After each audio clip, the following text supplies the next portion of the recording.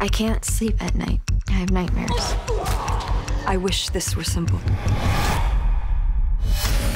She can't handle this. It's gonna get worse. They're kicking us while we're down. They're not gonna stop. One day, The world seems so messy right now. There are things we can show you. You're going to get him killed. I advise you to leave it alone. Nothing scares those two. Everything scares those two. You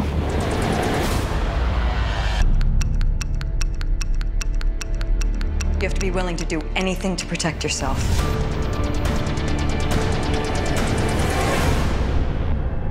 The Americans premieres Tuesday, March 7th on FX.